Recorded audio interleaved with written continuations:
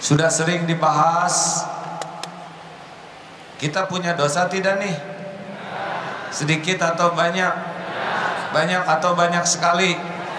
Banyak sekali atau luar biasa banyaknya? Rasulullah Shallallahu Alaihi Wasallam tanpa dosa 100 kali sehari. Ini yang luar biasa banyaknya berapa kali? Eh, malah ketawa, berarti jarang. Kita tidak terancam oleh siapa pun selain zolam tu nafsi.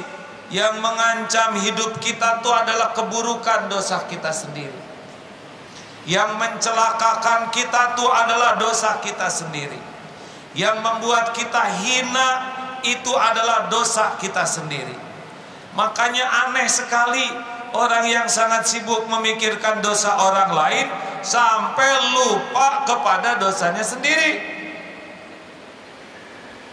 Lah yang ditimbang nanti di akhirat kita akan memikul apa yang kita lakukan. Benar?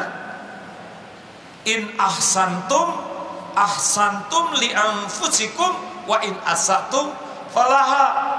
Kita berbuat baik, kita yang menunai, menuainya, kita berbuat buruk, kita yang akan merasakan getahnya. Jadi siapa yang mencelakakan diri kita?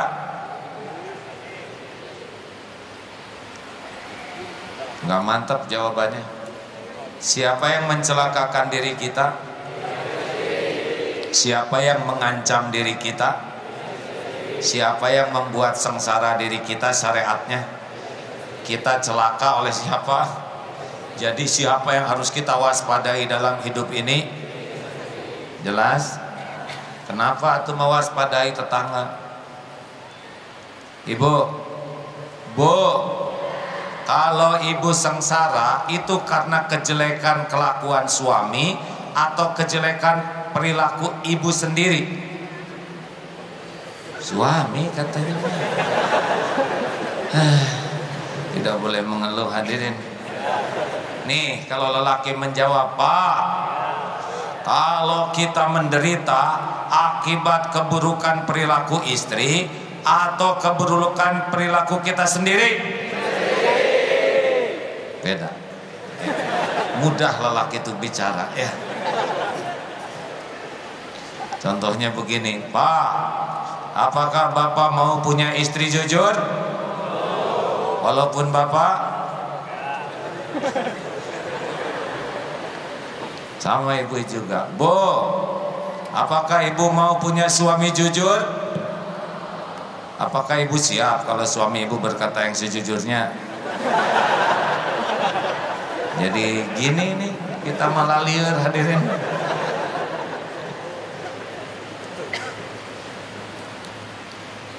Hadirin sekalian Mari kita pastikan bahwa ancaman terbesar dalam hidup kita adalah dosa kita. Benar kita harus juga memperhatikan kesalahan orang lain sebagai ladang amal bagi kita untuk amar ma'ruf nahi mungkar. Tapi jangan sampai mengabaikan masalah kita yang paling utama yaitu keburukan kita sendiri. Mana yang bahaya? Dihina atau menghina. Jelas ya. Dihina orang bahaya tidak? Tidak. Rasulullah SAW dihina, difitnah, dicaci, ajak saja kemuliaan beliau sesuai dengan yang Allah berikan.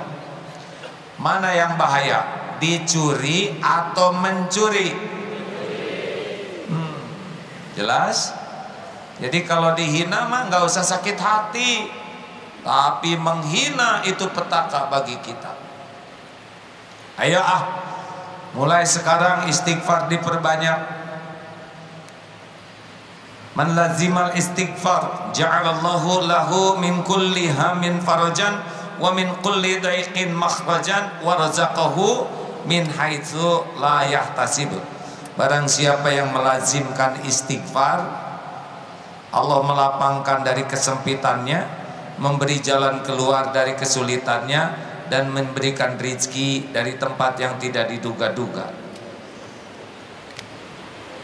Kalau sudah galau, Itu sudah indikasi itu. Ada yang salah pada diri kita. Segera saja istighfar. Kalau kita ditimpa masalah, jangan takut oleh masalahnya, tapi takutlah oleh dosa pengundang masalah. Ma asabaka min hasanatin faminallah wa ma asabaka min sayyiatin famin nafsik. Kebaikan apa pun jenisnya datang dari Allah, keburukan yang menimpa datang dari keburukan kita sendiri.